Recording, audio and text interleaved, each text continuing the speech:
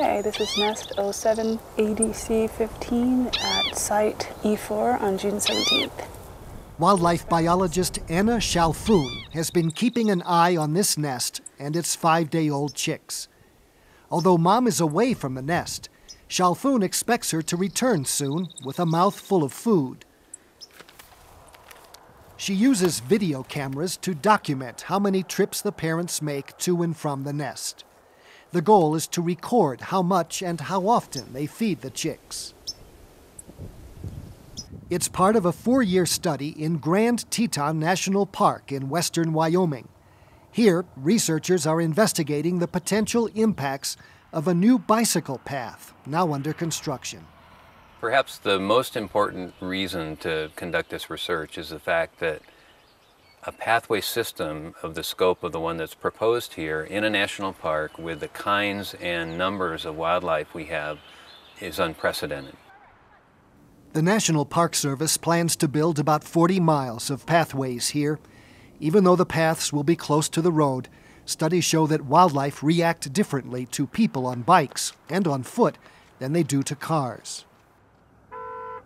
Park biologists say wildlife get used to routine disturbances such as car traffic, but they appear to pay more attention to people walking or biking. People stop more often and are less predictable than cars. We feel it's very important to know how the wildlife are going to respond to this new type of human use in the park.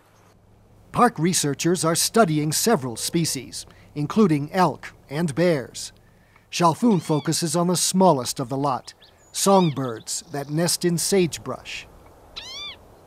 As you can see, they're extremely hidden and cryptic, usually tucked underneath a very small sage. These nests can be found very close to roads, and some could end up between the new pathway and the road.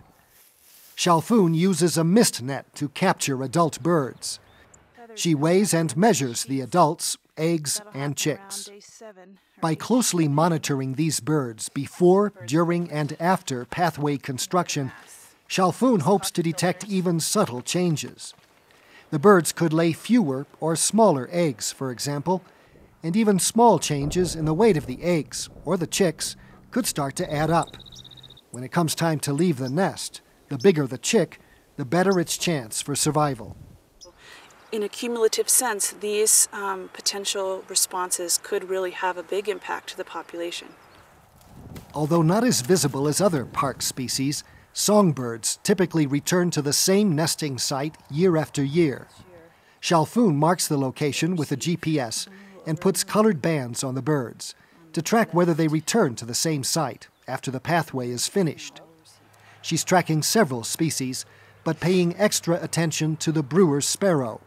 It's the most abundant songbird in her study, but its numbers have been declining at a rate of 3% a year across its western range.